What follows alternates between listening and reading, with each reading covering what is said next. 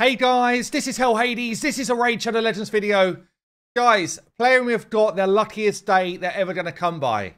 Normally, when I do a consultancy fee, it's at least one or two Lambos for a day, but this one's going to be free. Five absolutely insane ideas for Raid Shadow Legends to like bring Raid back to the top, okay? We're just going to get straight into it because the first one is insanely good.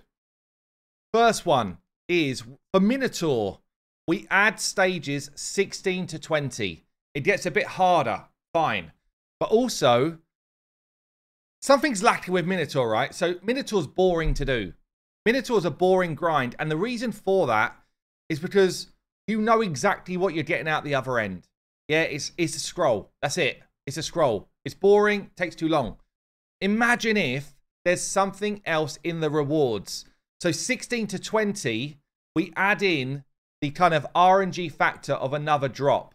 Think about it, right? Everywhere else in the game, if you're in a dungeon, you've got the chance of gear, uh, perhaps a chance of a shard. Even if you're in campaign, you're farming away, you've got the chance of a free star chicken popping out the other end, or perhaps a piece of gear early on that you might like. You know, if you're in Clan Boss, you're farming it because you think you might get a good reward. With Minotaur, the reason why the grind is so dull is because you you know exactly what you're going to get. And it's not exciting to do.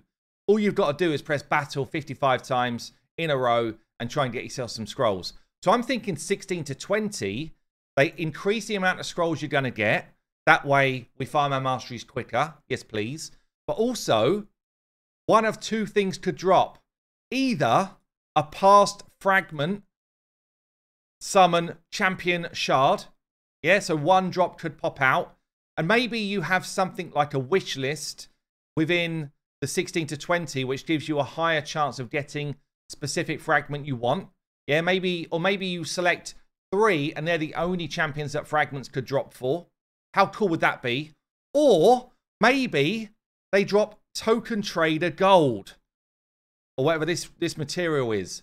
Maybe that's another option. From 16 to 20, there's a chance of another drop, another currency pops out the other end. You farm scrolls quicker. You've got that RNG buzz of can I get what I'm after? Everyone's enjoying it. It's a bit, it's like a different game experience. Let's get on to idea number two, which is the token trader. Change the champions, rotate them. You know what would just be the simplest idea, Raid? It's so easy. Six new champions, legendaries, and six epics pop up every week they rotate every week. Could even be every day, but I like every week. Yeah. The player has got the choice to lock one of those champions. Yeah, so you could lock one legendary and one epic. They will always stay locked until the until the player unlocks them. So first thing is more choice, more variety here. Second thing is a different way to get these tokens. Yeah, currently it's insane for anybody. I'd, I'd love to know the stats on anyone who uses this. It would be insane to feed enough champions to get one of these. Absolutely bonkers. The worst thing you could ever, ever do would be to try and get a champion from the token trader right now. So either the costs have to massively reduce or there has to be another way to get token trader coins. There has to be. Either you can like feed epics in to get you a smaller amount of coins. That's one way. Maybe you feed rares, you get like one coin. There's got to be another way to get these coins other than feeding legendaries when you've added empowerment, when you've added faction guardians. It makes zero sense for anyone to ever, ever, ever, ever, ever use it. It's currently dead. That's idea number two.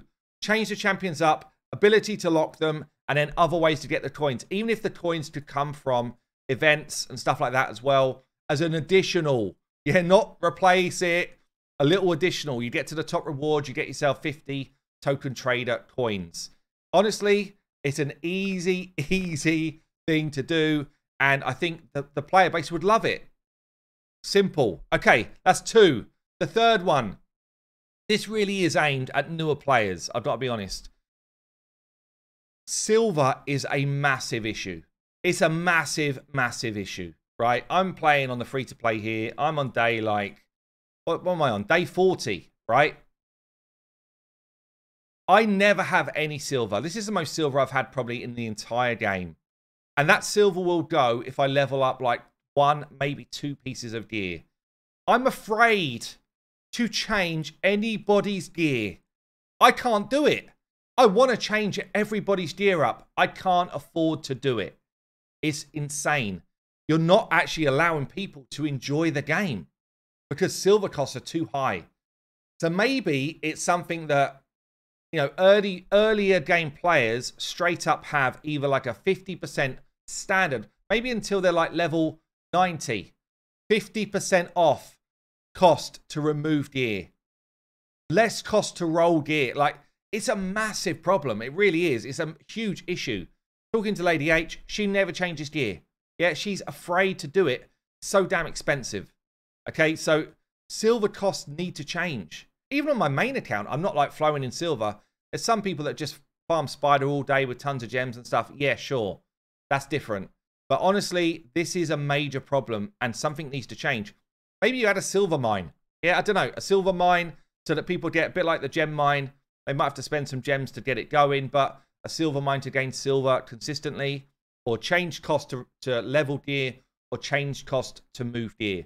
Something needs to give because the silver costs are too insane. Fourth change is going to be in the it's, it's tavern stroke shard pulling, right? If I pull 10 mysteries, yeah, we do the 10 mystery pull.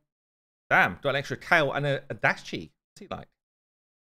Anyway, if I pull 10, and I want to feed champions into other champions. I don't just want this six grid.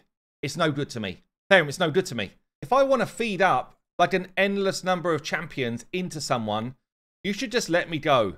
Yeah, or or like an all level 1 button or something. I just want way more speed in the tavern.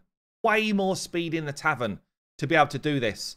Yeah, if I want to ascend someone from zero to max. I just want a cent a center full button. I don't want to have to like all of these little quality of life things should just be in the game already. You know, it's just it's a crazy one for me that we have to spend so long doing this tavern work. Yeah, and that's what it feels like. It feels like I've gone to the tavern job. Yeah, I don't want to. I don't want it to feel like that for me. I want it to be a quick. You know what? I've, I've in, in fact, Eternal Evolution, steal this from Eternal Evolution. They've got this kind of like quick evolve button press quick evolve, all of the one stars become two stars. Yeah, they feed into each other. They just do it. I don't need to spend the next, you know, oh, okay, one, one, two, three. Yes, yes. Now I've got to wait for the animation. Right, okay. I don't want it. It's too slow. It's too slow when I'm trying to do some work in the tavern. That's number four. The fifth one, probably the best one. Your sword buddy. Yeah, everyone should have one champion who's a sword buddy. This is especially aimed at trying to help new players out or trying to help players out decide whether they want to level out a champion or not. And the idea of this is in the Guardian Ring, we have a new section called Sword Buddy. Basically, what happens in that place is you you get to mimic the level and mastery setup of another champion. So let's say I'm making a sword buddy of Ronda whoever that sword buddy becomes, let's say my sword buddy is actually going to be Gembo. Gembo becomes level 60 with the same mastery tiers as Ronda. Yeah, he doesn't get books. That's the only thing he won't get for free. But basically, you have one champion on your account that instantly goes up to your sword buddy's level with your sword buddy's masteries. What this will do, it will dramatically help newer players that are trying to progress through the game. Yeah, because currently it takes so damn long to get a bunch of 60s together. And and also what it will help with is you just pull a champion and you're not quite sure if they're going to help you out or not. Not quite sure if they're going to fit in your team. Uh, or you need to beat a specific Doom Tower boss. And you know you've got a roster of kind of like options. You put someone in as your sword buddy. All of a sudden you try them in that team. Did it make the difference for you? I feel like this is a brilliant idea. I feel like it's a great idea.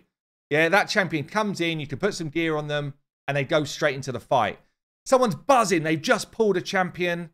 Can I get them straight into the fight? Yeah. Throw them in your sword buddy slot. They go straight up to level 60. They get masteries, and you can use them straight away. The only thing you won't get for free is the bookage.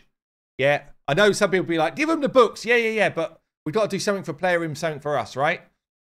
I just feel like five great ideas. Plarium, take those for free. Uh, if you want to send a Lambo, I'm, I'm cool with that as well. But you can take those for free if you feel like that's the right thing to do. Whatever's morally right for you. Anyway, I've been Hell Hades. Hope you enjoyed the video. I'll see you later.